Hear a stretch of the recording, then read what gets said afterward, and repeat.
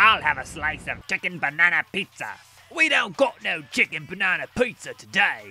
What? Why? Cause someone stole my whole shipment of raw chicken. I just figured it was you again. But those chickens were already dead. I have no need for dead chickens. Really? Well then, who the hell besides you would steal a bunch of raw chicken? Don't you think we should save some of these to eat? Nah, this is more fun. Now pitch a strike.